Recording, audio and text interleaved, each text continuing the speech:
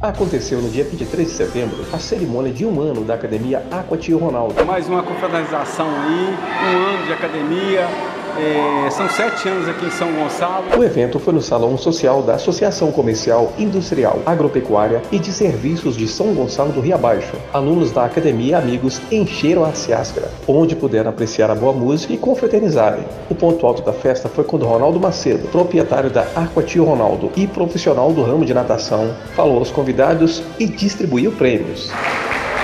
Bom, pessoal, é um grande prazer receber vocês aqui é, apoiando o meu projeto aqui na cidade, o qual eu levo saúde, tendo saúde, uma qualidade de vida para o São Gonçalense. Para mim é um prazer enorme estar empreendendo aqui e cada dia crescendo.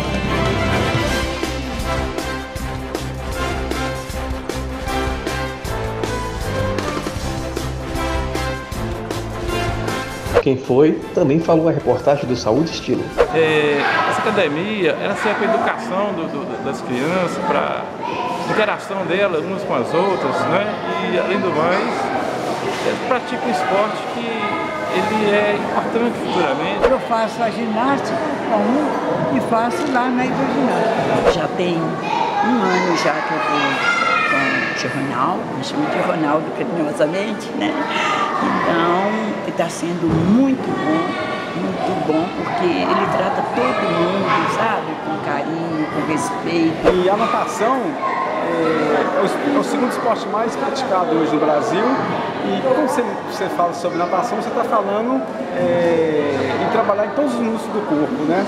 Então estamos aí, graças a Deus, é, sempre melhorando a cada dia mais e sempre procurando a, a, a melhorar.